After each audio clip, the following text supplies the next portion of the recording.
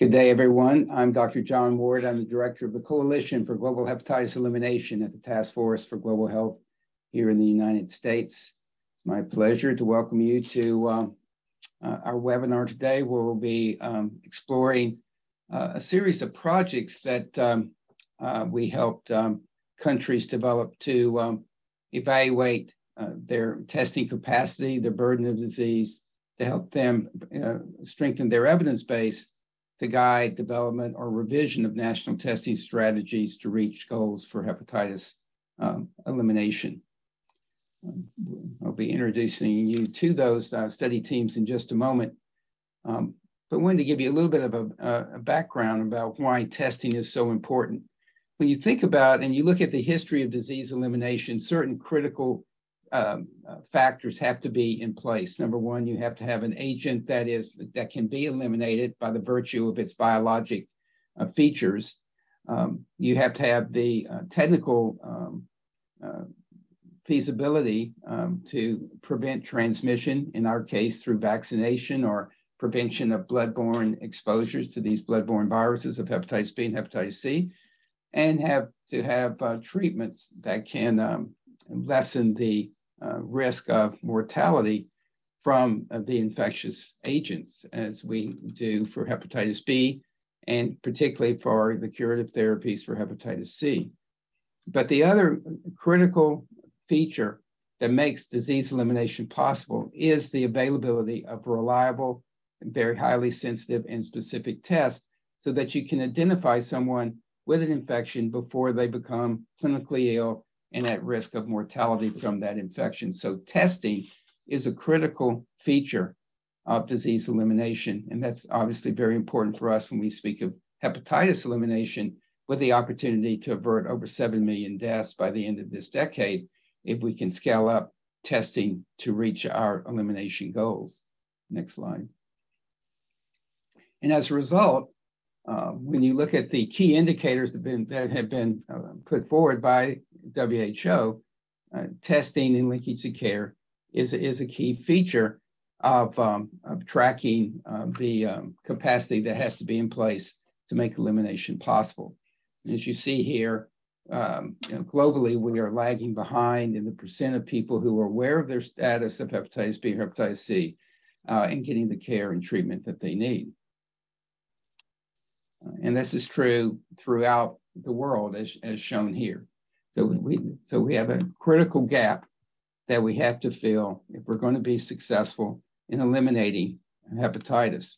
And for that reason, um, we uh, began to talk about you know how could the coalition you know help with that, um, um, and begin to think about um, could we have some resources. If you look at the next slide, um, have some resources where you could you know uh, uh, help countries um, evaluate their testing capacity currently, either point of care testing or in laboratories, pull the data together to um, assess their uh, disease burden uh, and how it might vary by, by region or by certain key populations, and then put that information together of the testing capacity and where is your burden of disease and how well does that align and then that strengthens your evidence base to see what uh, new policies or revision of policies need to be put in place to make testing more readily available or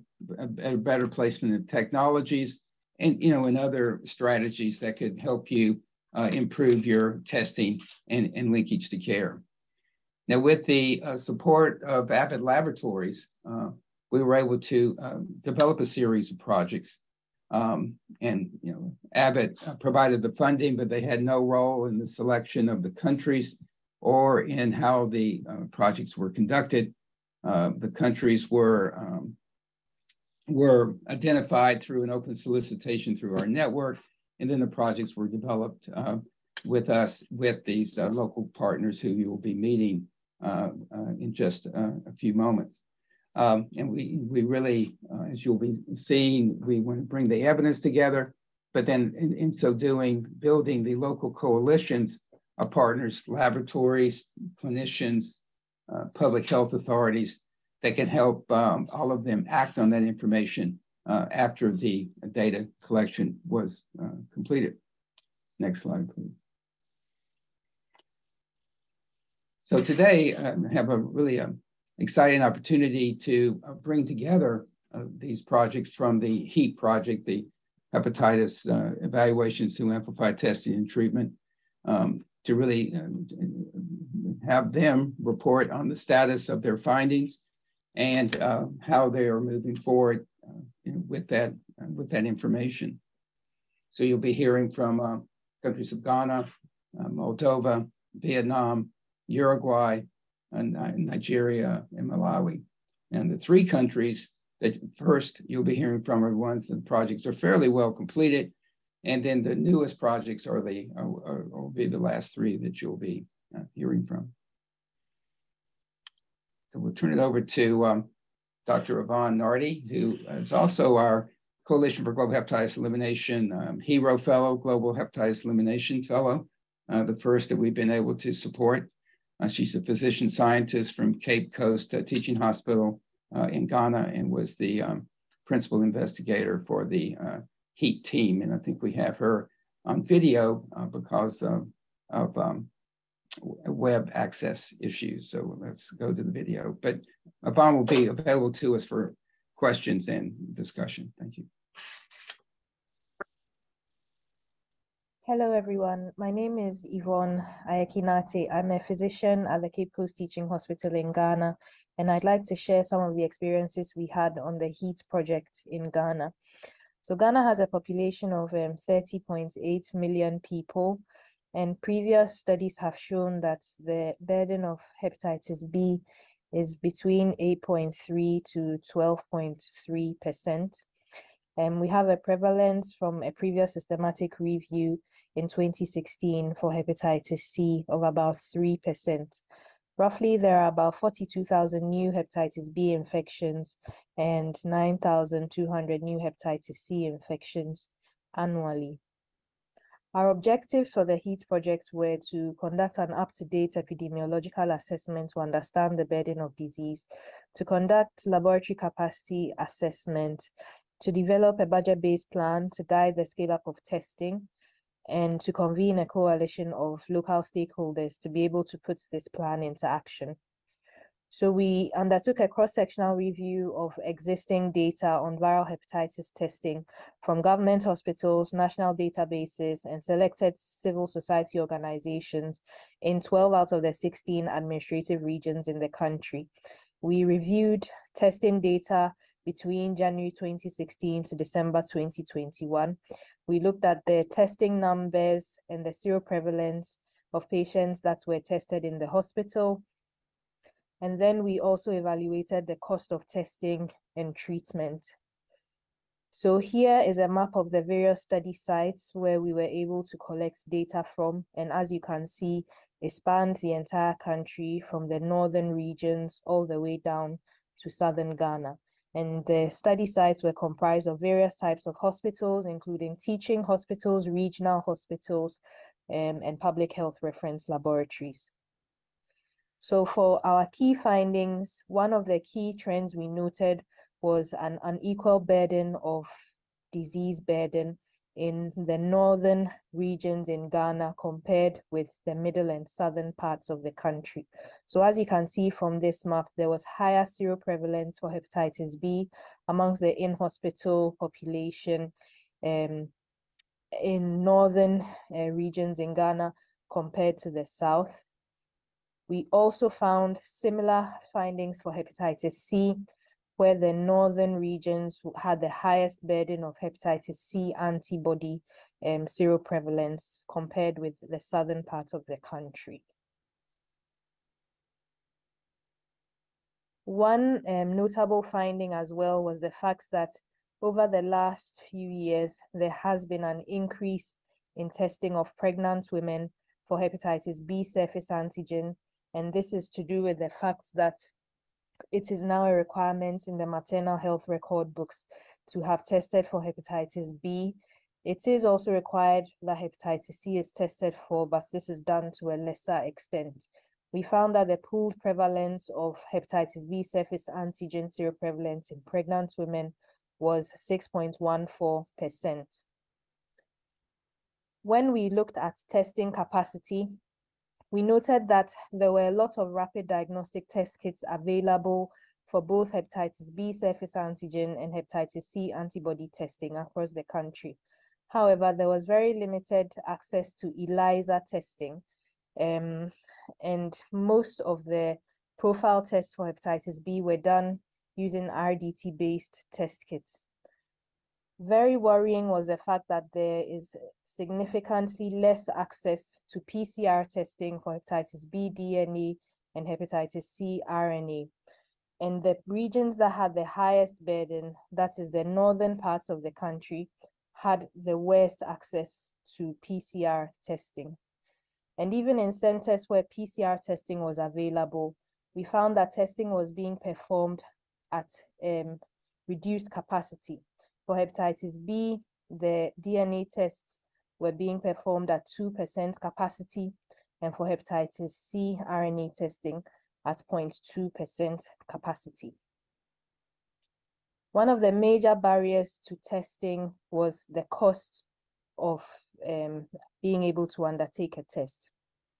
We noted that if a patient's uh, monthly wage in Ghana um, is around $150, treatment for hepatitis B, that is the annual cost of treatment, was around $260. And it was even worse for hepatitis C, where a 12 week course of pangenotypic DAAs were almost $900, which is far out of the reach of patients. The cost of workup was also quite expensive and limited access. So the key outcomes from this project was that we were able to get national level evidence for the first time for hepatitis B and C um, from the in-hospital population in Ghana from pregnant women. And then we also looked at blood donors as well. And this has been one of the first projects to do so. And obviously without the coalition, we wouldn't have been able to undertake this project. We identified significant barriers to testing and treatment, and it demonstrated that there is a real need to review and update our current national policies and guidelines on viral hepatitis in Ghana. From this project, the Ghana Health Service and the WHO Country Office were also able to um, provide or develop some policy briefs on test kit quality, as well as the hepatitis related costs in Ghana. And we were able to generate some evidence to have an initial discussion with the National Health Insurance Authority of Ghana with regard to the pricing of testing and treatment for viral hepatitis. We use this data for our World Hepatitis Day 2022 campaign to create public awareness and also to engage communities. And then from this study, we were able to begin to discuss the development of a hepatitis C elimination project in Ghana dubbed Stop HCV. So the rationale for STOP, which stands for Screening and Treatment Opportunity Project for Hepatitis C virus in Ghana, is that we hope to um, have this act as a short-term plan to catalyze the action for viral hepatitis elimination in Ghana. And the project is specifically as a response to an expected donation of sofosbuvir daclatasvir, um, which we will be obtaining to treat 50,000 Ghanaians who are infected with um, hepatitis C. And this project will facilitate us demonstrating a public health approach to HCV treatment in Ghana because thus far it's been very much, um, you know, large teaching hospitals where there are gastroenterologists residing who predominantly look after and manage hepatitis C patients. And obviously, access to these teaching hospitals will be quite limited. This project will also facilitate um, strengthening our data reporting systems and build capacity in terms of health information. So the objectives are to identify and link 50,000 Ghanaian hepatitis C patients to care with donated DAA medicines from Egypt. We will strengthen data reporting and health information systems through the training of healthcare staff across the country, and then review national policies and plans for viral hepatitis elimination.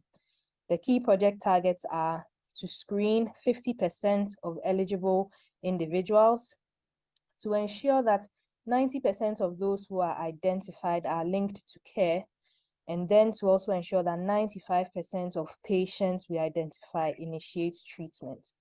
So currently, um, we are awaiting the drugs, um, we are waiting the donation, which will be received in Ghana, hopefully in the coming months. And then we'll be able to initiate our treatment um, and linkage to care project. So thank you very much for listening, and I'm very happy to take any questions. Thank you, Yvonne, very much. Thank you for the project that was very well executed um, under your direction and for the project that's coming from that uh, from HEAT uh, to stop HCV, focusing on northern uh, Ghana.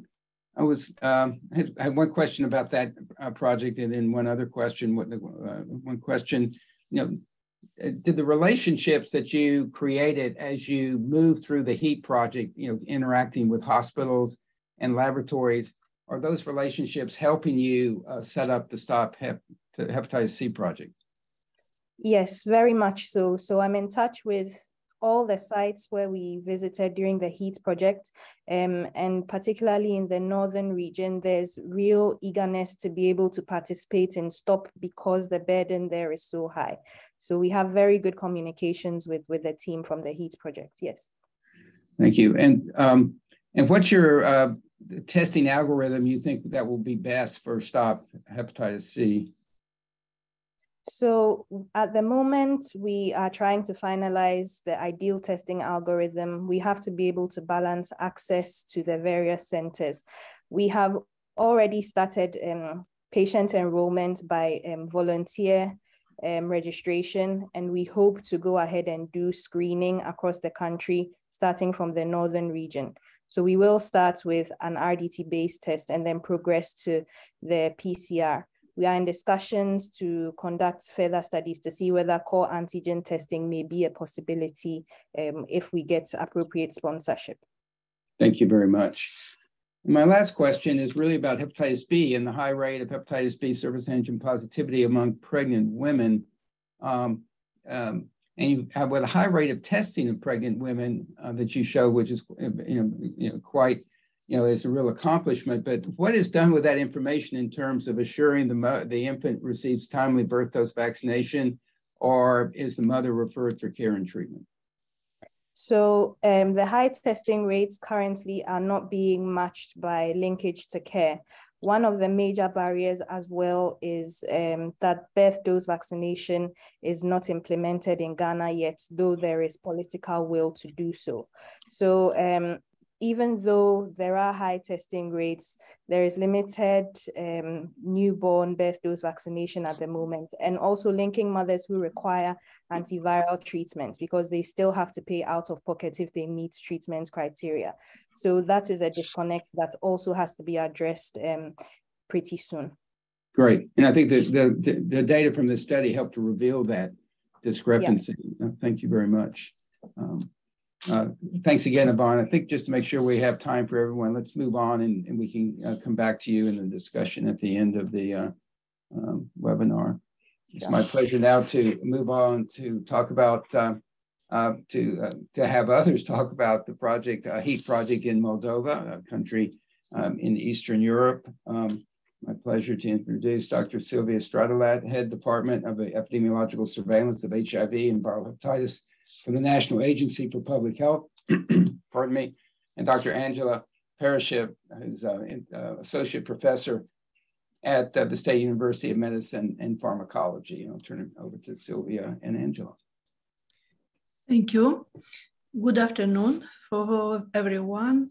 Uh, first, I would like to thank you for invitation to participate on this webinar and sharing our results within the project supported by the coalition from global hepatitis elimination provided in Republic of Moldova in 2021. Please next slide.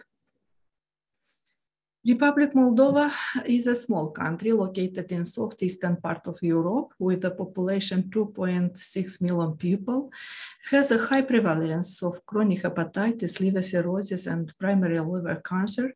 In 2020, 73,000 people were recorded with chronic hepatitis and uh, other 10,000 with liver cirrhosis.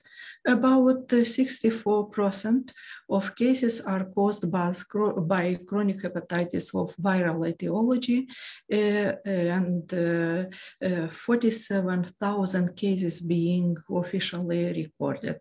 Hepatitis B predominates in the etiological structure of the uh, chronic hepatitis, constituting 70, uh, 61 uh, percent uh, compared with hepatitis C, which is 31 percent. Please, next slide.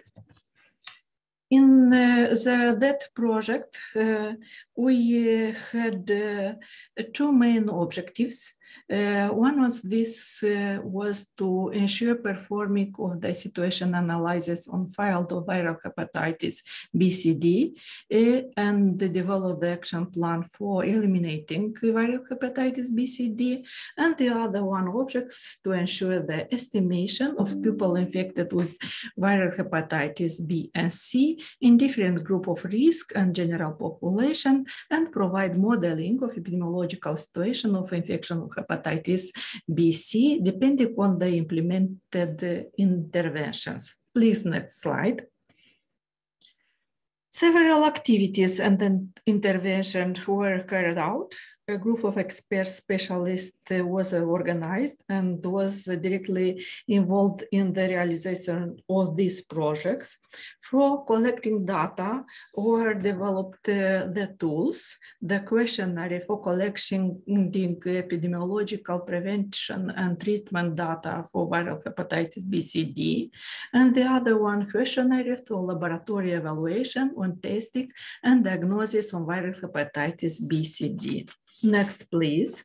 Uh, slide.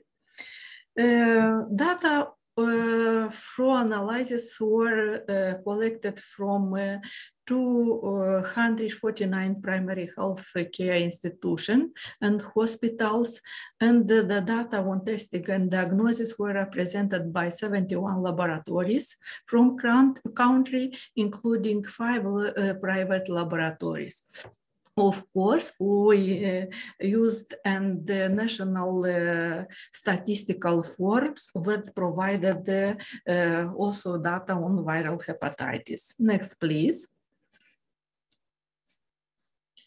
Based on uh, uh, collected data in the country was uh, provided the analysis. This analysis includes six captures and provides the information, challenges, barriers on surveillance, acute and chronic hepatitis, epidemiological situation, also provides information on prevention viral hepatitis, hospital care system and access to treatment, including NDAA treatment in viral hepatitis, laboratory capacities in diagnosis of viral hepatitis, and monitoring and evaluation situation on this form. Next, please. Uh, within the uh, analysis, we identify many challenges uh, in Republic of Moldova, but uh, the main challenges are uh, determined uh, by surveillance intervention in Republic. there is a lack of integrated database that would allow us to analyzing viral hepatitis morbidity and complexity and in insufficient epidemiological data collected on cases of chronic viral hepatitis. The other uh, uh, problem is lack of national electronic register for tracking patients with viral hepatitis and liver cirrhosis of uh, uh BCD etiology. Please, next slide. The other challenges are provided uh, by some uh, prophylactic uh, um, activities. In Republic, we identified there are insufficient info information awarenesses uh, uh, about uh, general population and high group risk on viral hepatitis infection uh, is lack of financial resources for implementing implementation of these activities. And of course, we identify uh, a low coverage by vaccination against viral hepatitis B of person for, uh, from group, uh, high group uh, at risk. Please, next uh, slide. One of the biggest challenges is testing a diagnosis in the Republic. We identified uh, uh, low uh, HBV and HCV testing of key population, and of course, uh, low testing and of general population. It uh, is determined by poor implementation of laboratory screening and diagnostic service in country, of course, determined of low financial coverage for viral hepatitis screening testing. Uh, next, please. Based on uh, challenging data uh, provided the analysis, in Republic we uh, uh provided uh, a national strategic plan for elimination viral hepatitis. This uh, plan was developed, uh, taking in, into account the barriers and challenges uh, in the situation analysis, but of course, and the WHO recommendation for elimination viral hepatitis and other countries' experience. Uh, this uh, plan includes and provides specific objectives and strategic activities, including monitoring and evaluation indicators for six strategic areas. One of these is prevention of the new viral hepatitis infection. The other one is strengthening and consolidation viral hepatitis testing, treatment, care, monitoring of persons with viral hepatitis, reduction of health disparities caused by viral hepatitis, hepatitis, strengthening epidemiological surveillance of viral hepatitis, of, of course, integrated collaboration between the decision makers involved in the addressing of viral hepatitis and the YIT consequences. Uh, about uh, next our activities in our country, I will uh, ask my colleague Angela Paraschiv to talk about it. Angela, you are, please. Angela, I think you're on mute.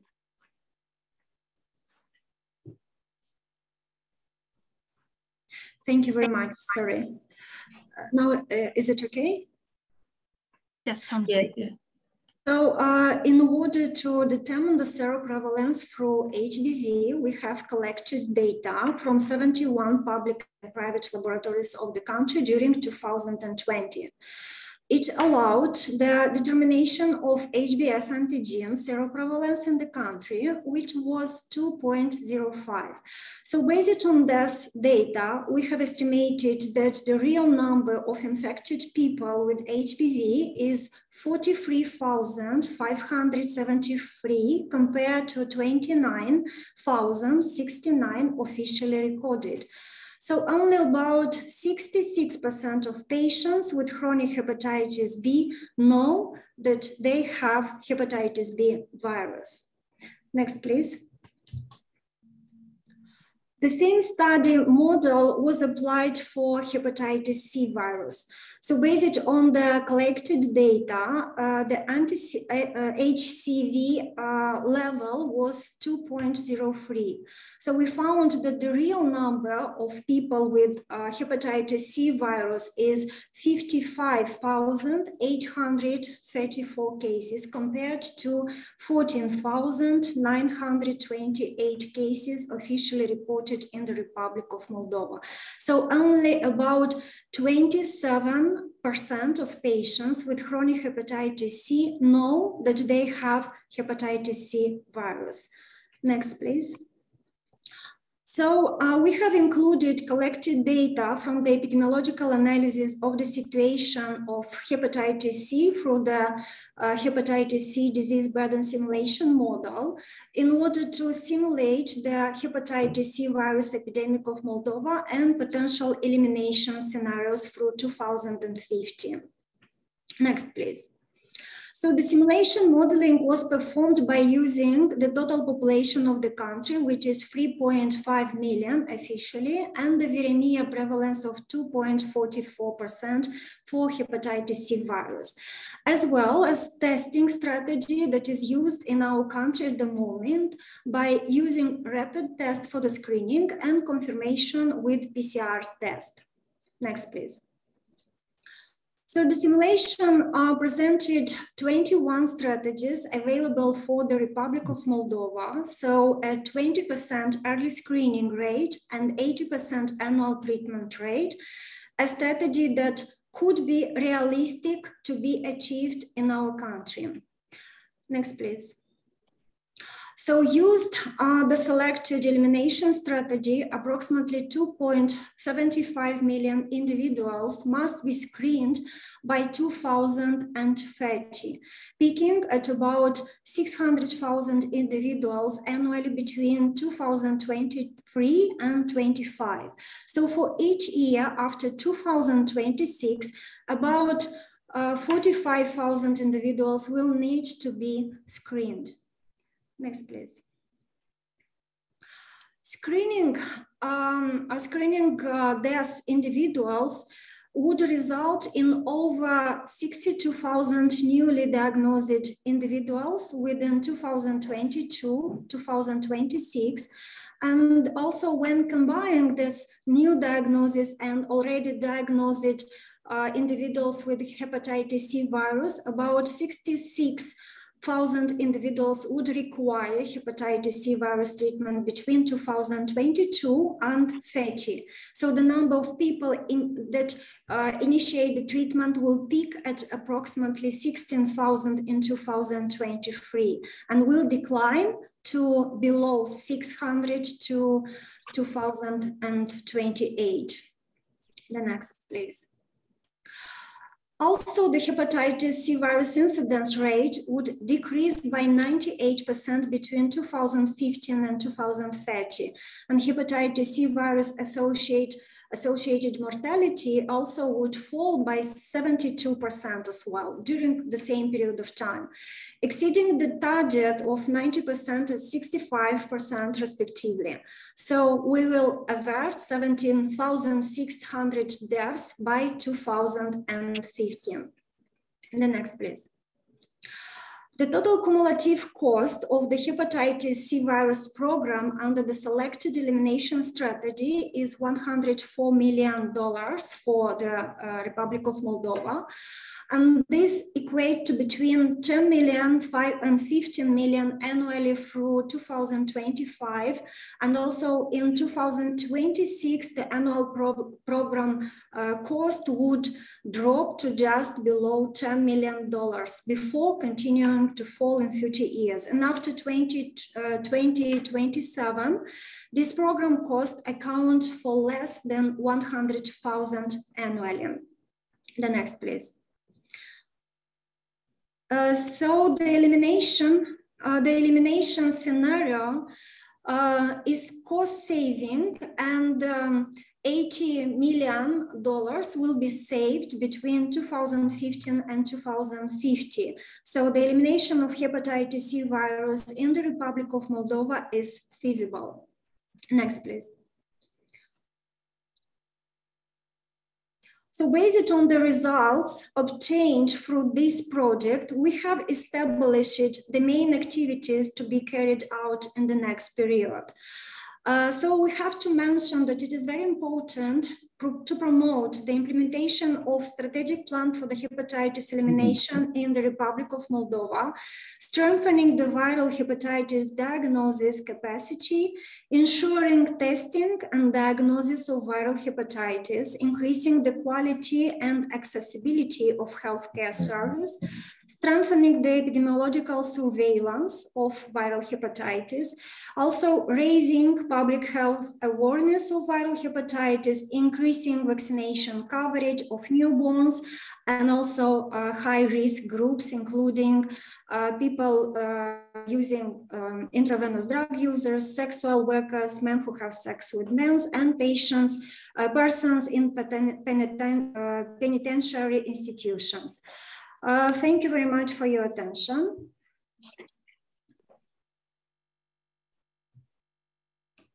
Thank you both for an excellent overview of an excellently uh, well-executed study and uh, project. I um, had a couple of questions. I encourage others to put theirs in the chat or the Q&A. We're monitoring both. But uh, uh, first to you, Silvia, um, you mentioned a working group that you put together to start the project. Um, I, I, would like to know um, who was in the working group. Um, you had such excellent participation of clinics and laboratories. Um, it was very interested to see what working group you put together to start the project. Thank you very much for that question. Uh, this working group was uh, organized and participated specialists from National Agency of Public Health, University uh, or State University of uh, Medicine, of course, uh, specialists from uh, public centers, territorial public centers, and primary health sector. this working group was approved by ordered by Ministry of Health, and uh, they included uh, the main specialists in the areas, of course, of specialists in diagnosis that provide the information and and provide the analysis of data that was collected. Uh, in uh, within the, the project. Thank you. A question also about um, access to testing that was found in the HEAT study. Um, in Ghana, uh, Aban showed how the testing um, uh, platforms were there, but they were not being used for hepatitis. Um, and I was wondering in Moldova, is access uh, an issue for the testing equipment not being available in a in, in a in a clinic, or is it a, a question of the there's not a testing policy to uh, guide testing, or are there cost issues for patients, or what mm-hmm. other issues um, we need to think about when we want to expand access to testing? Thank you. Uh, uh, uh, um, within the project, we identified that uh, in our country, uh, first of uh, we don't have the algorithms, provided algorithms uh, to be uh, implemented in the country. We need to develop this uh, guidance and algorithm and uh, provide the capacity building of laboratories. the other one problem is in our country, we implement the test rapid testing. Uh, uh, these tests are procured by the Ministry of Health. By they not there are large um, testing of the of the person. We need to provide the company to to the testing company uh, Э, э, to inform the population that uh, these testing are in the Republic and to address to for testing, uh, of course, population. Uh, the other one, uh, I, I think uh, the problem is about collecting data because in we don't have a database on provided testing in Republic, and this also this is a problem. we we have collected the, data only in the development of the project, but now we don't know how many people are tested uh, in, uh, uh, in the years, and this will need to be developed. I think this is the, the first. of course, we have a GeneXperts platform that is implemented in HIV testing and the TB testing. These platforms need to be um, uh, utilizate uh, to be using uh, used for testing and the hepatitis B. But for implementing uh, this um, technology, we need to develop the policy strategies to implementing the GeneXpert testing on hepatitis. Thank you. Thank you. And Angela, in the, in the modeling of a hepatitis C elimination program for Moldova, um, I was struck by the continued high cost of virologic testing, which is about, uh, I think you estimated at about $50 per test for the model. model. Uh, and just um, maybe it's a question for you and Silvia. What are the opportunities to uh, reduce that cost? Um, uh, I think uh, it is uh, very important uh, to, to reduce the cost because the rapid test uh, is um, uh, around one one dollars, but very high prices for confirmation test, and this would need to be discussed within at the level of Ministry of Health and provide some strategical activities to, to reduce the test on the on the testing on viral hepatitis. Thank you. Uh, hopefully we'll have opportunities to ask you more questions in the discussion period. There's a question in the Q&A that I would ask you to look at to type an answer to, please. But let's move on to Vietnam um, and um, hear about the HEAT project um, uh, there. Uh, it's my um, pleasure to uh, introduce Dr. Amy Trang, Vice President of Administrative Services and Planning with the Vietnam Viral Hepatitis uh, Alliance, and um, she'll give you an overview of the HEAT project uh, in Vietnam. Amy? Greetings. My name is Amy Trang, and I'm with the Vietnam Viral Hepatitis Alliance. Today, I'll be talking about hepatitis evaluation to amplify testing and treatment, also known as HEAT, in Vietnam. This project was sponsored by the Coalition of Global Hepatitis Elimination at the Task Force for Global Health. The project management team includes Yim Dao, the program manager, Lop Fang, the project coordinator, myself, and our project advisor, Dr. Doan Dao, from Johns Hopkins University's Center of Excellence for Liver Diseases in Vietnam. Today we'll be discussing the overview of the project as well as the data analysis and key findings. Let's start with the HEAT project overview. Let's start with some background information. Vietnam has some of the highest disease burdens of liver cancer in the world. More than 80% of liver cancer cases develop on the background of advanced fibrosis or cirrhosis using the METAVIR scoring system. Up to 90% of advanced fibrosis cirrhosis cases, hence high risk for liver cancer, are due to hepatitis B virus and or hepatitis C virus. Up to 65% of newly diagnosed liver cancer cases in Vietnam are at an advanced symptomatic stage, for example with BCLC C or D. Combating hepatitis is specifically mentioned in the Global Sustainable Development Goals and the WHO T1. The goal of this project is to support elimination-ready hepatitis B and hepatitis C testing and policy development in Vietnam to specifically address the following objectives. One, identify feasible strategies to scale testing and proven models of care by the end of the project period. And two, develop national policy recommendations to inform further program development. Our key activities included one, conduct an epidemiological assessment to understand the burden of the disease. Two, conduct assessment of laboratory testing capacity. Three, convene a coalition of stakeholders to put the plan into action and implement testing. Four, model potential testing scale-up strategies to inform regional and national elimination planning. And five, develop a budget-based plan to guide the scale-up of testing linked to care.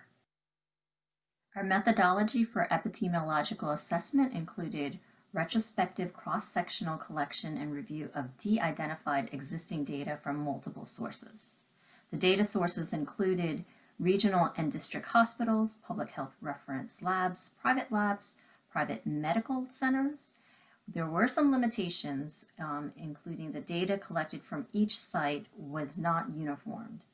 And the data collection sites where we collaborated with included Medic Medical Networks, Hanoi Đông Đa General Hospital, Hanoi, Institute of Gastroenterology and Hepatology. We would like to acknowledge and thank our key project collaborators. Without them, we would not have been able to complete this project. We had a bumpy road from start to end for this project because of the COVID-19 pandemic. We started this project in August 2020, but didn't complete the data collection until March 2021, and were not able to hold the stakeholder meetings or webinars until December of 2021. Our data analysis for publication is still ongoing. In this next section, we're going to talk about the data analysis and key findings. This diagram is to provide you with a visual of the structure of health sectors in Vietnam, starting with this is a map of Vietnam to give you an idea of what the country looks like and where the data collection sites were located. Uh, there are three data collection sites, which we respectively named Hospital 1, 2, and 3. Hospital 1 is located in Ho Chi Minh City, which is the uh, most populated city in Vietnam. Um, Hospital 1 includes the largest private labs and medical centers in Vietnam, serving the whole southern region with their largest hospital facility located in Ho Chi Minh City. Hospital 2 is located in Hanoi, which is Vietnam's capital city. It is a general hospital. It's one of the largest public medical facilities for viral hepatitis and infectious diseases in northern Vietnam, and it serves the whole region there. Hospital 3 is uh, of the most recognizable private teaching institutes in northern Vietnam in the field of viral hepatitis. This chart provides a summary of the types of data that were collected at the three hospital facilities and the different characteristics of these facilities, um, private medical center and a teaching institute. Here you can see the total number of individuals tested for hepatitis B surface antigen from 2018 to 2020 among the three data collection sites. So Hospital 1 has screened the most um, with over 200,000 individuals screened and tested in 2018 and 2019. But in 2020, you do see a huge decline, um, and that can be attributed to the COVID-19 pandemic. This table shows the total number of individuals tested for anti-HCV, very similar to the data presented previously for hepatitis B. When we compare the prevalence of hepatitis B positive individuals in facilities from 2018 to 2020, we find that Hospital 2, the public facility, identified the most individuals infected with hepatitis B, with a significant increase in 2020. Similarly, when we compare the prevalence of hepatitis C positive individuals among the facilities in 2018 to 2020, we also find that Hospital 2 had identified the most uh, individuals uh, infected by hepatitis C in their public facilities. When comparing the average prevalence of hepatitis B and hepatitis C infected patients among all three sites um, for 2018 to 2020, we find the, the average prevalence of hepatitis B comes out to be about 7%, and the average prevalence of hepatitis C comes out to 1.7%. Now let's get into some epidemiological assessment.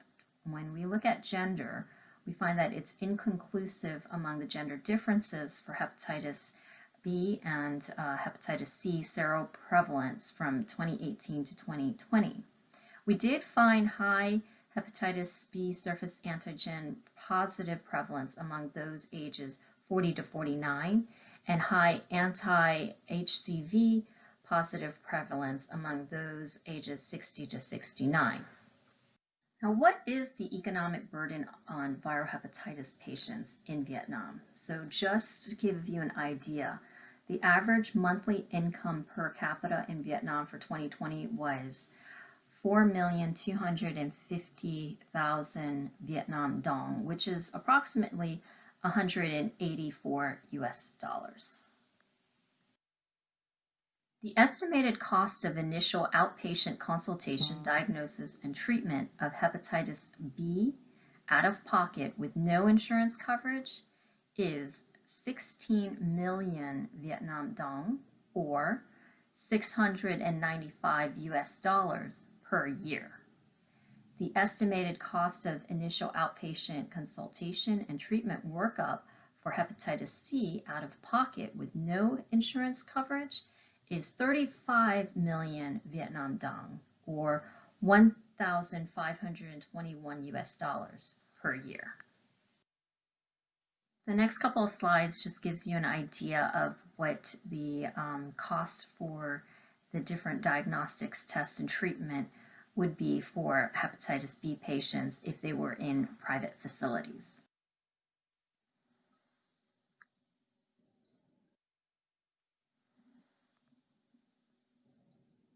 In the last part of our presentation, we're going to talk about the laboratory capacity assessment. There is a lot of data that we collected that I'm not going to go into details. I'm going to flash it on the screen and then give you a summary of our key findings. This is the serological testing capacity that we found in all three uh, data collection sites.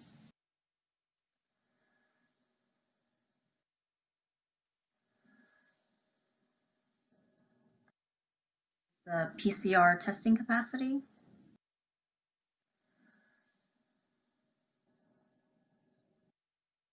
And the CHG testing capacity, and only one hospital provided this service. Here are our key summary of findings. All labs use serological PCR core antigen tests for hepatitis B surface antigen and anti-hepatitis C tests. Most labs can serve 100% of testing machines based on their staff and services. All labs' testing demands are below their testing capacity though. This concludes our presentation. Thank you for listening and if there's any questions, please feel free to put them in the chat box. Thank you. Yes, please do so. Uh, we're going to move on in the interest of um, uh, Dr. Solange uh, Gerona from uh, Uruguay. Uh, she has clinical responsibilities here in a few moments, so we're going to uh, go to, uh, um, to the Uruguay presentation to make sure she can participate in person at this webinar. And then we'll have comments and questions for both Uruguay and Vietnam to follow. So it's my pleasure to introduce Dr. Solange Gerona, head of the National Liver Transplant Program and Hepatology Service at the um, Central Hospital in Uruguay. Solange? And you're on mute at the moment. Thank you. Hello, how are you? Thank you for the invitation and thank you for the support, John and Lindsay. Incredible. Uh, we would like first to share the video. I don't know if we can share it. It's a video that we created uh, for the for starts in the HEAT project in Uruguay.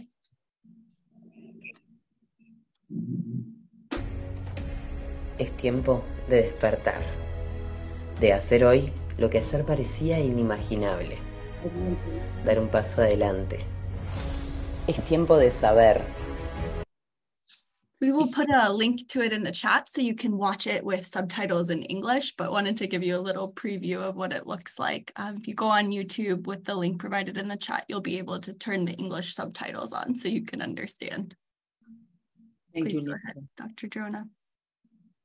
So uh, the the video was uh, planned to uh, the start the kicking off of the HEAT project and also to increase the awareness in the population. So uh, we are presenting the first national survey for the evaluation of hepatitis B and C to expand the test and treatment HEAT in Uruguay. And we are just starting. We are a team, a little team uh, of me, uh, Andres Balsamo, that is an epidemiologist. He already works in the Ministry of Health.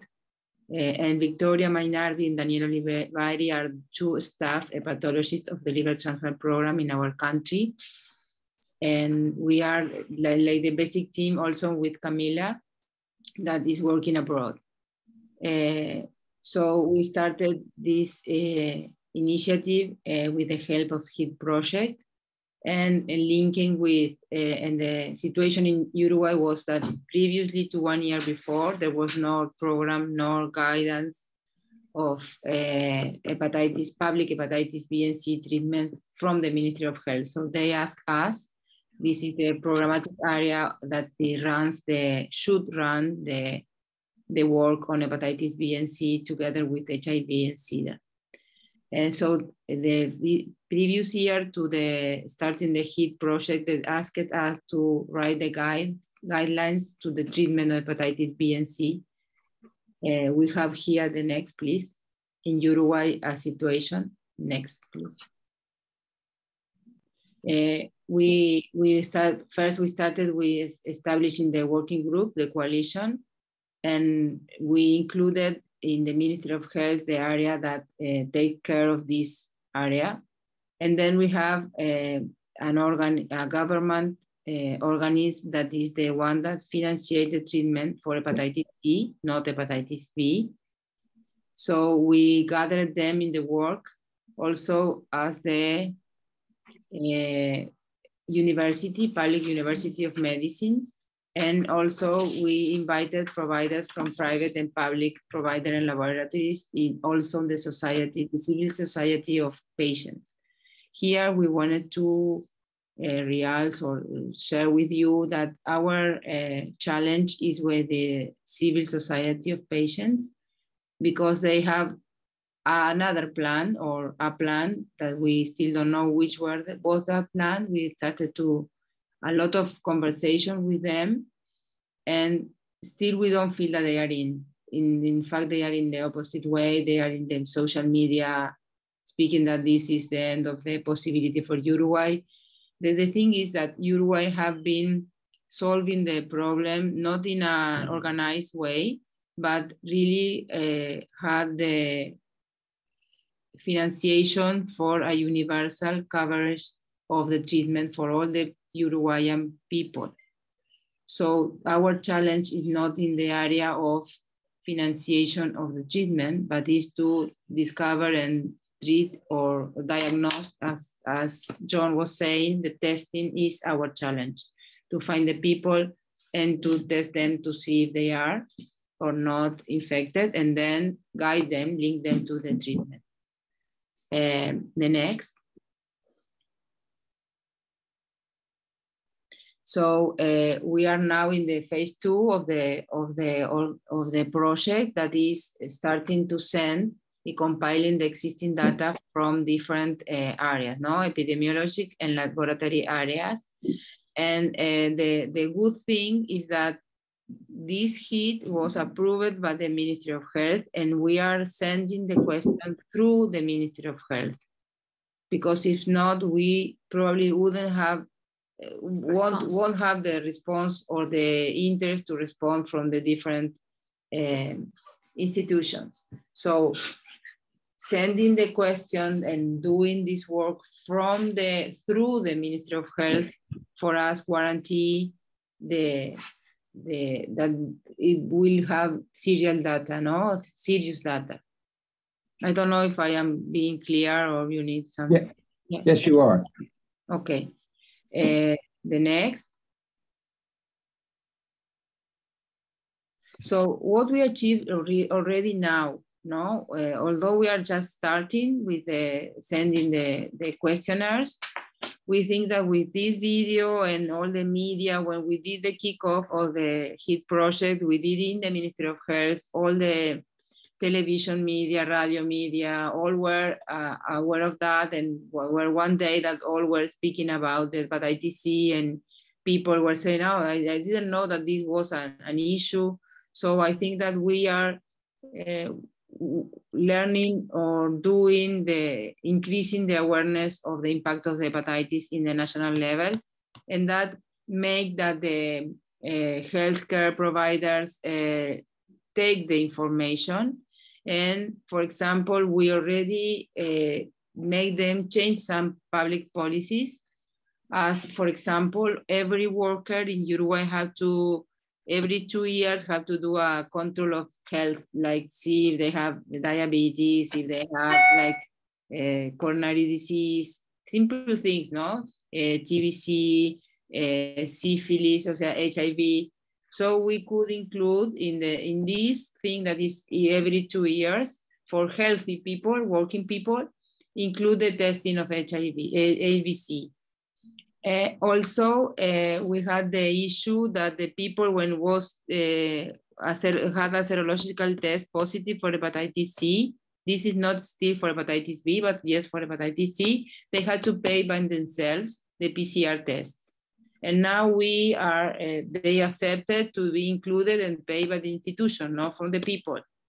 And so that has secured that the, the, they continues on with the process of getting the, the treatment. And also, uh, we, when we write the guidance for, uh, for all the country on how to treat hepatitis C and B, we identify that the uh, government didn't cover the non-responders patients. And so we make changes and thus assess the changes and they take it. So now we have the coverage of the treatment for non-responders in hepatitis C. Next. So uh, where are we? Uh, we still are very in, the, in a baby state. We are starting and, and we are learning from all that have done a lot before, from all of you. And uh, we feel that uh, this will be like the starting point for a program. We still don't have a program uh, the Ministry of Health is not like with the willing to, to do it. Know that they also are thinking about this is expensive or this is so and so. Uh, we think that the, the main innovation we should do is a, a POC test in every primary attentional test, uh, point of care that we have tests, rapid tests instead of serological tests. I think that that would be like growing the the awareness and identification of hepatitis C infected patients. About hepatitis B, we didn't put it here. We are doing also the questionnaire. We are in a different position. Every baby has tested, every pregnant woman is tested, every baby is vaccinated as soon as he starts his life.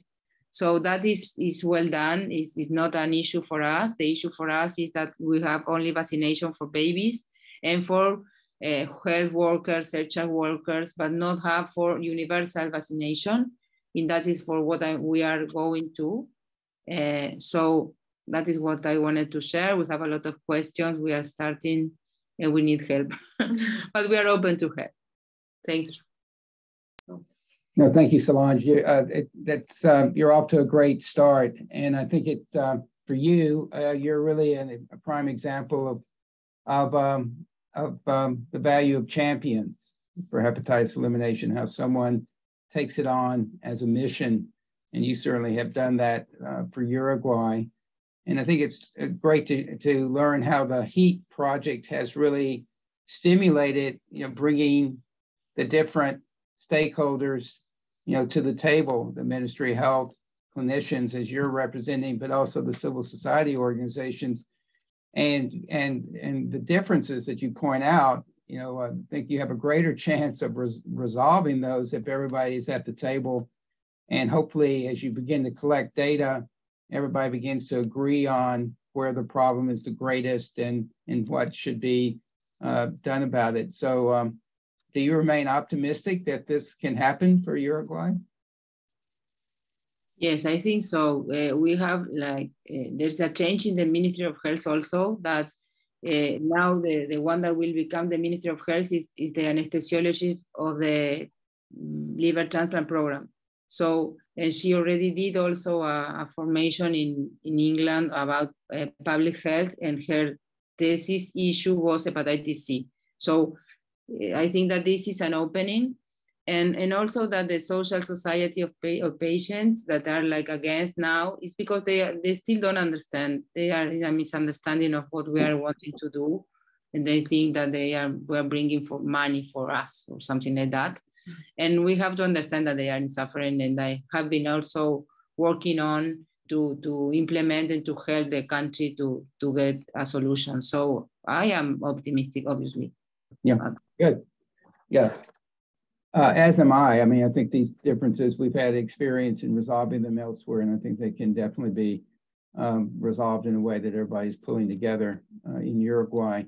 Uh, Dr. Angela showed how the modeling, how you can, HEAT can lead to modeling to actually model a, uh, a, hepatitis elimination program for a country. Do you think that kind of modeling would be of value in Uruguay? Yes, I think that that will be, we were seeing that uh, presentation and we were speaking with Daniela here. And, and yes, I think that that will clarify the, the issues and the questions and the resistance and will help a lot, a lot when we be able to have the Harvard method and have the planification of how many people. It's like knowing how many people we have to test, how many people we have to, to do. It will organize the, the thing and will make the work easier. Uh, we have um, an expanded uh, capacity for PCR testing in the country because of COVID. We are have a, we are a little country of three million people, while we know uh, very accessible. We don't have issues of accessibility. So having the PCR testing in around all around the country, I think that that won't be an issue. So knowing how how how will be the pace and how calculate the pace with the money with the resources we have, I think that that will help a lot, a lot of of like setting setting the mindset we need to, to do the issues we have to solve. Excellent, thank you. Um, let me turn over to questions for um, um, Vietnam. I think there's a few in the uh, chat there. Uh, uh, Amy, um, um, regarding, um, um, you know, I was struck by the large volume for me, um, uh, straight off, when you're looking at those three hospitals and there was such a large volume in hospital one versus hospital two and three, um, is that just because that hospital is larger, or they had a more dynamic testing program that uh, resulted in a higher percentage of patients being tested for hepatitis? So that um, uh, hospital facility network is pretty large because it takes care of all of the southern regions. So you have many different provinces um, feeding into that hospital system. So the data that was collected was actually coming from three hospital sites in the South, but it's centralized at their data collection center. And in the South, it, it, it, there tends to be um, more cases of hepatitis that has been uh, detected. Um, hospital two and three, because they're public facilities, there's limitations on who's attending and who's getting the um, services. So private versus public uh, issue is what we were highlighting there. Right. Right. Um, um, there was a question about Delta testing. Uh, maybe, I don't know if this Solange may have dropped off, but uh, um, did you look at anything? Is there any uh, any information about Delta testing, hepatitis Delta testing in those hospitals as you looked at hepatitis B? In Vietnam, um, Vietnam, not not yet, and we are looking into that because uh, funding, of course, is is uh, you know key and with the public um, hospital sites, uh, we are also tapping into the state sponsored health insurance. Um, and you know that's a little bit of, of, a complex system as well. But those are items that we are um, uh, pushing for in terms of um, also encouraging people to get tested. That's great. Um, um, it could be also a question for for really all three of the project areas um, because um, the testing capacity was a big focus for the COVID-19 response, strengthening testing capacity for viruses for COVID-19, but some of those platforms can certainly be applied to other viruses, including hepatitis B and hepatitis C. And you mentioned the pandemic uh, having an impact just on the study and collection of data. Do you have any knowledge? Uh, now, to ask uh, uh, Ghana and then ask Moldova. Uh, was there any noticeable changes in testing capacity over the pandemic response in Vietnam? Yeah, so in Vietnam, you saw, um, you know, the influx of, of uh, uh, patients being tested for hepatitis B and C, especially in 2020. And, you know, that was a huge impact of whether or not they could actually go to the hospital sites. Um, because uh, in Vietnam, during the COVID pandemic, there was a certain time period where things were locked down. And the focus, of course, was on COVID, and the hospitals would only take those cases as priority. So uh, there was direct effect um, on those patients uh, during that time period. Okay. And so, uh, Solange, was any uh, noticeable changes, positive or negative, for hepatitis testing during the uh, COVID response that you're aware of in your clinical practice? I didn't understand the question. What was the impact of the COVID-19 response on access to hepatitis testing in Uruguay? Yes, that, that we saw that the, for example, it was a half the, the the testing in, in COVID epidemic. Have the best.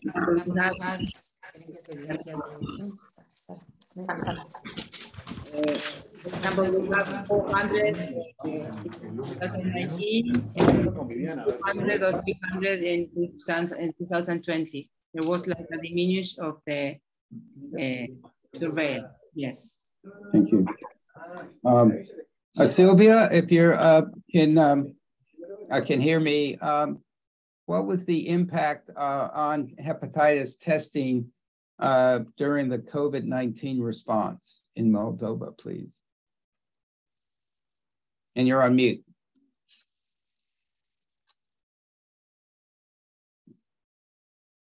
Yep. Please take yourself off mute excuse me. Uh, in my opinion, uh, the COVID restrictions have uh, negative uh, um, actions for testing, uh, but uh, at last month we uh, identified and high addressability for testing uh, with the rapid testing and uh, think in the next semester of this year the results will be higher compared with the result from last year.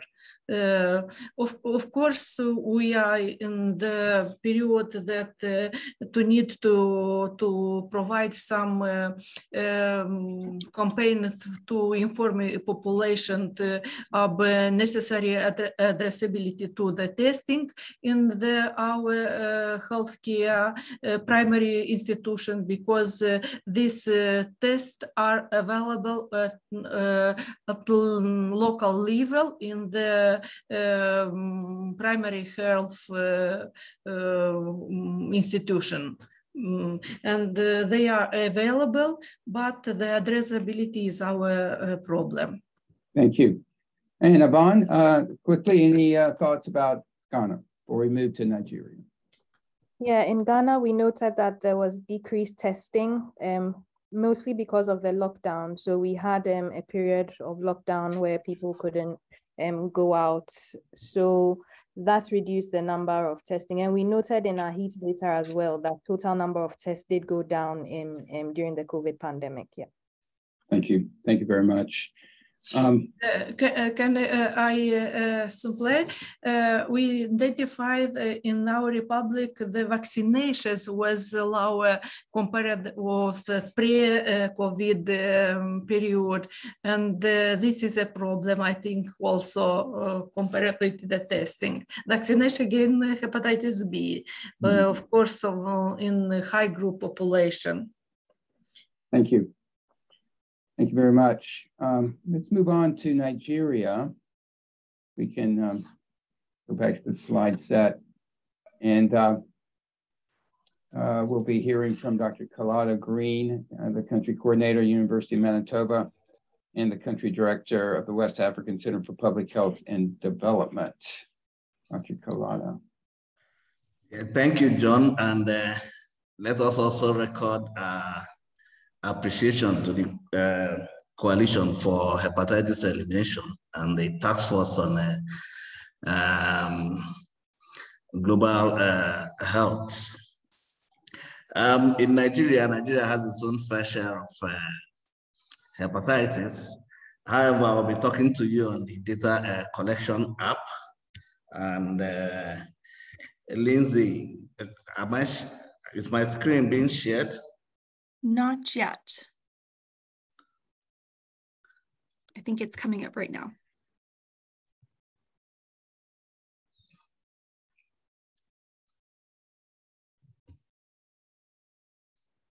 Looks great. Okay, you're seeing my screen. So we'll be talking about the data uh, collection app and um, we'll just take you through the features of the app we're using to collect the uh, data for the HEAT project, which uh, we are just starting out here in Nigeria. We'll also tell you about the key patterns of the app, and then uh, we'll end up with a short practical demonstration of some of those uh, patterns we are discussing. Um, electronic data collection came up sometime early in the 1980s, and since then there's been an increased efficiency in uh, data management. You know, and it has helped solve a lot of problems with uh, paper uh, data collection. Now we can capture data electronically, both online and offline, digitize it instantly, retrieve it, and then use it uh, readily. We are using the Survey CTO uh, app, which has a friendly interface that enables you to migrate, collect, and then export data for analysis. It has inbuilt logic models such as skip patterns, relevant and then constraint the commands. So for its patterns, you have this server console, which is a central repository for both blank and filled in surveys forms. You also have the survey CTO collect, which data collectors will fill out uh, to collect the data. And then you have the desktop, which helps to centralize work, export data, and then very important in uh, managing projects. And finally, you have the Survey CTO Explorer, an inbuilt monitoring mechanism and visualization tool that allows you to quickly review your data. So for the HEAT project, we started by converting the paper form, the questionnaires into the digital format on an Android uh, uh, tablet. And this, uh, the aim is to collect high quality data, secure both online or offline using the mobile device, and then uh, do audits and uh, data collection real time while monitoring during uh, field activities. Following that, we then integrate into the Survey CTO and then use other tools for some forms of analysis. These tools might be in Excel, Stata, or DHIS2. And with this, with also the survey CTO, we can then view and export data into statistical tools that could be used for further analysis. So the key patterns in the survey CTO, you have the relevant uh, pattern, which is an element of the instrument, which will give you an idea of what is relevant and what is not relevant uh, in respect of uh, your selected responses. You have the constraints, which enables us to ensure that what you need to input, if it's alphabet or numeric, lower or uppercase, is what goes in there. And it won't entertain any values that is outside the constraints, else it will give an error message. Then there are skip patterns, which are conditional branchings or branch logic, which will help you skip to relevant sections as you uh, administer the instruments.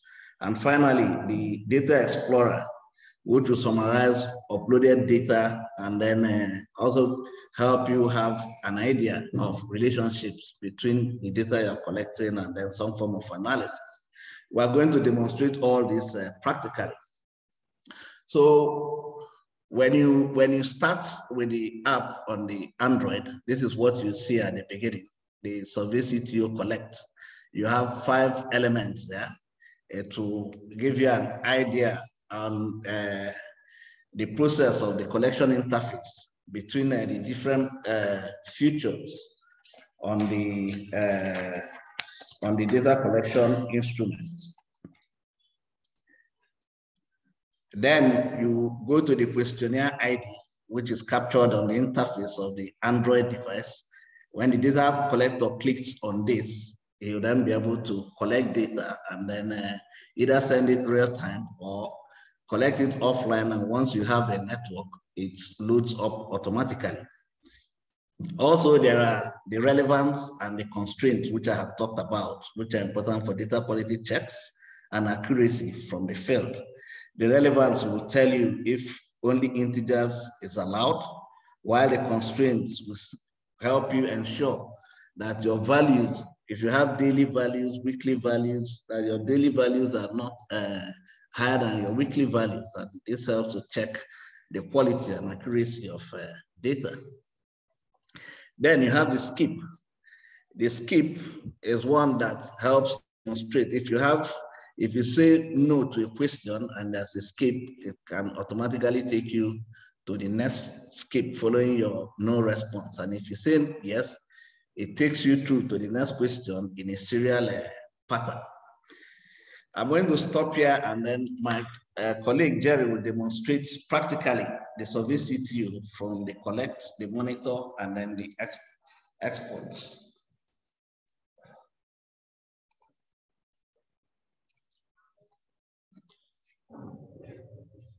All right, thank you so much. Um, this is um, what he has just, Doctor just presented to us just now.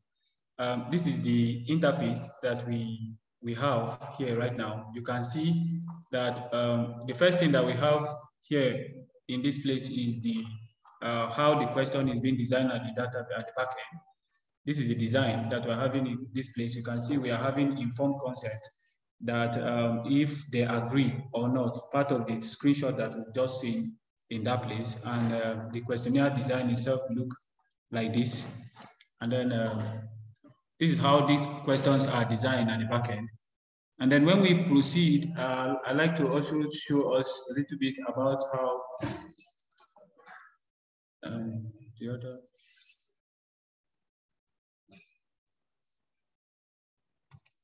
Yes. Okay,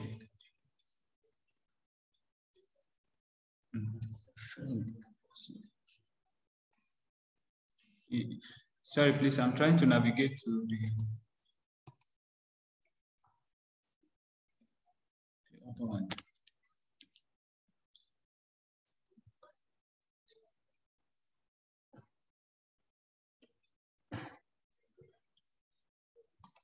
Um, okay.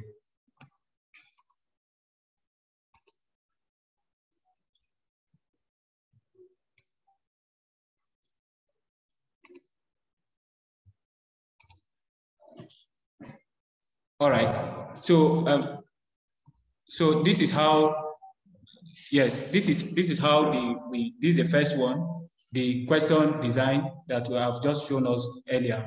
Then we then we also have we also have the Survey CTO um, data collect. This is how the interface look like at the at, uh, on the tablet. When we are with the tablet, the interface look this way. And um, permit me to just take just one minute and show us how this data is being collected in real time.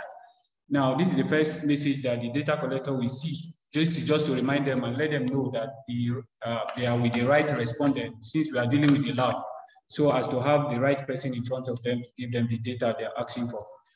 And uh, we, we, like Doctor has rightly said, um, we have to get an, a consent from them as well in any data in any data collection that we do. And so if they say no after you've introduced yourself and then um, ask them for their consent and they say no, the question we um, we skip down to the last part. That means the best the, there will be no need for you to do anything in that place. We just get this report at the back end that there is a rejection. But if they select yes, at this point, then we can proceed with the rest of the question that we have to ask. One of the skip pattern that we have, uh, one of the uh, pattern that we have in this place is about the integer and the test. For instance, if we were to be using a paper, one can come to this place whether even though it's saying entered um, number in the facility, they could decide to enter um, a test. And then let's just put that put in that test and see what will happen it will not proceed because we, are, we require just an integer to be able to proceed from this particular one. These are that makes us uh, to track the quality of data that we're collecting from the field.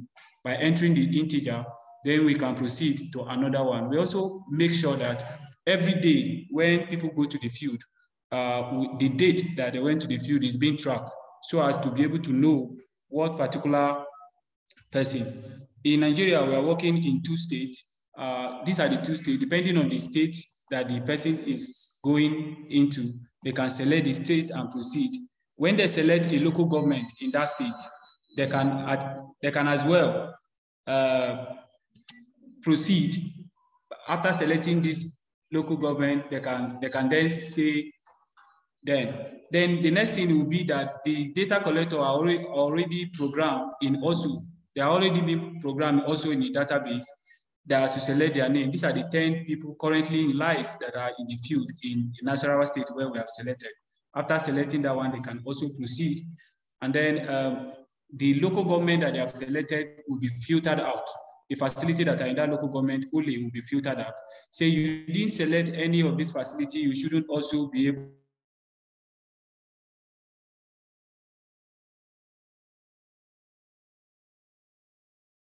we proceed, when we proceed, after selecting,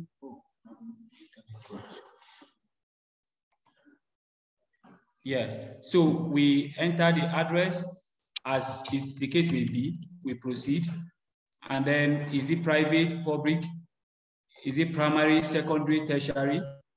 This is one of the skip pattern that we also constraint that we also have in this place that we talked about. If somebody said is not offering hepatitis, then there will be no need for you to ask, ask the person a following question that has to do with hepatitis um, hepatitis text in that place. So if they say if they say yes, we can proceed to the next question, which is number nine. But if they say no, you will realize that this is jumped down to 20, which is facility information and all that. So let me also take us to um, another session, which is a live monitoring session that we have in Survey Um, uh, permission to refresh this particular page so you can see how live data is coming in from the field. It will just load and then we have the live session. Right now, currently, as at this morning, we have less than this particular number that we are seeing in this place because people are right uh, in the field as we speak, collecting this data. And so we monitor these things uh, in life. This is also to tell us the how many field we have, also the duration of the average duration of data collector that they use in the field to collect. If we have any issue, it's been programmed for us to be able to know to um, the checks to be able to flag up for us to be able to do it in this place. Here we monitor the data that is coming in on every day, on a daily basis. You can see on this graph, you can be able to tell that on, on a particular day, on the 27th of September, we got five data from the field. And these are the uh, way, different way that we monitor the relationship, the different pattern, the location where this data is being collected from, all these are being monitored. Finally, we have um, where we export the data, which is the the third, the fourth part that doctors told us about. So this is how it it, it looked like the export side. So um, with just a click, with just a click of of this, you can you can see that we have downloaded the the data from the database. We just Yeah. click. We have the data and then we share these data elements. to- Yeah, we're gonna have to wrap up, um, uh, because it's at the top of the hour. Do you want to make one last comment, uh, before, uh, we close? Uh, Dr. Kalada? Yes, um, like I said, um, this is going on now. Um, we have two states, data is being collected, and then we hope that once we get this, we'll be able to bring up some descriptive analysis from what has happened in the field. Uh, again, we're grateful for this opportunity and we look forward to continuing this work with the rest of the team and the coalition. Thanks. Yeah, it's our Um, pleasure working with you and uh, great to see how your data collection instrument is set up and ready to be um, uh, already being put to use. So uh, thank you very much and look forward to uh, working with you as you uh, um, move forward in completing the uh, HEAT project in Nigeria. Um, now we're at the top of the hour. I want to thank all of our um, investigators um, in the HEAT countries uh, for their for their work which as you can see has been very well done in providing the data regarding lab capacity, hepatitis burden, and what are some next steps of improving uh, testing for the key population so we can advance progress toward hepatitis elimination in these countries and then share these lessons learned more broadly. I think you also can see how HEAT is helping to bring the key stakeholders together so that they can agree on the information being collected and have a greater chance of working together to take action based on that evidence made possible by the HEAT project. Uh, we look forward to continuing to work with all of all of um, all of the HEAT programs um, and hope to develop uh, additional uh, HEAT uh, programs going forward. I want to thank again uh, the support given to us by Abbott Laboratories. Um, please continue to share your questions and comments uh, to us, and we will relay those on to the um, to the study sites. Thank you again for your attention and look forward to working with you, all of you, to advance toward our shared goal of hepatitis elimination. Thank you. Thank you. Thank you very much. Well done Thank to you. everyone. Thank you. And have a nice day. Thank you so much. Thank you. You have a nice day as well.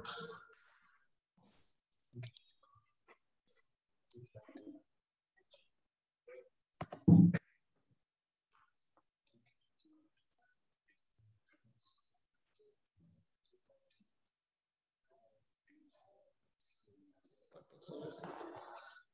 aziende con contatto.